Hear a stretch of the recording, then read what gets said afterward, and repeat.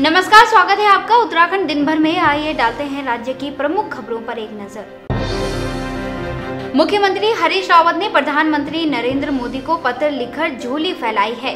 इसमें रावत ने पीएम से आर्थिक सहायता के लिए अनुरोध किया है।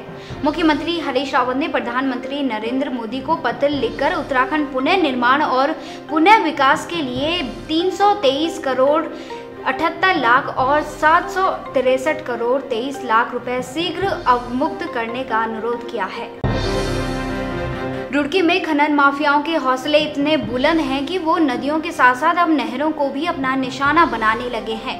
सूचना मिलने पर रुड़की तहसील प्रशासन ने गंग नहर से खनन सामग्री भरते समय एक दर्जन ट्रैक्टर व ट्रॉलियों को सीज कर दिया है। मुझे फ़ोन द्वारा सूचना मिली थी कि नहर में अवैध खनन हो रहा है, जबकि इस नहर में यूपी इरीगेशन द्वारा ये लिख के दिया गया है कि इसमें कोई भी खनन कार्य नहीं किया जाएगा। आज चंपावत के गल्ला विक्रेताओं ने गौरल चौड़ मैदान में सांकेतिक प्रदर्शन किया। प्रदर्शन कर रहे विक्रेताओं का कहना है कि राशन के गोदाम में धर्म कांटा न होने से दिक्कतों का सामना करना पड़ रहा है।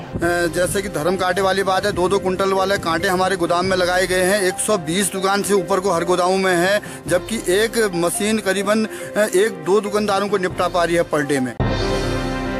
मसूरी में भाजपा के पूर्व पालिका अध्यक्ष ओपी उनियाल ने एक बैठक आयोजित की, जिसमें उन्होंने नगर पालिका में फैली हुई अनियमितताओं और भ्रष्टाचार के बारे में वार्ता की। तो मेरा तो ये कहना है, माननीय मुख्यमंत्री जी से भी अनुरोध है और मुख्य सचिव जी से, कि जो ये नगर पालिका मसूरी में जो घोटाले हुए हैं जितने भी ये घोटाले हैं, इनकी जाँच होनी चाहिए, निष्पक्ष जाँच होनी चाहिए। राज्य सरकार द्वारा पहली बार देहरादून के क्रीड़ा हॉल में पैरालंपिक स्टेट लेवल गेम्स आयोजित किए जा रहे हैं जिसमें 21 प्लेयर्स हैं जो कि हाथ पैर से विकलांग हैं। इसमें से जो हमारे विनर्स हैं उनको उनको मौका मिलेगा कि उत्तराखंड की ओर से वो राज्य नेशनल लेवल पर पार्टिसिपेट करें। तो ये थी उत्तराखंड की प्रमुख खबरें। इन तमाम खबरों को आप देख सकते हैं देवभूमि न्यूज़ डॉट कॉम पर।